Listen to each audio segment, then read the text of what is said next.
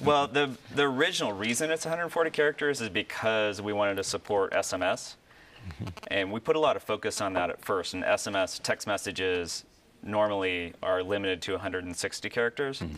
so we needed a, some room mm-hmm. for the name, mm-hmm. and we decided on 100, 140. But we kept that constraint, even though SMS is actually a minority of usage. We kept the constraint when we moved to the web, so all the the tweets could flow everywhere and it had sort of an unpredictable, I think, um, effect on people's web usage and all the other usage. I built um, blogging software before, where for a number of years it was about removing constraints and adding features and let, letting people add more and more. And in a way, Twitter is is like that, but completely stripped down, and it creates a new dynamic and it lets people actually have a lot more freedom in what they do. Join us online at charlierose.com.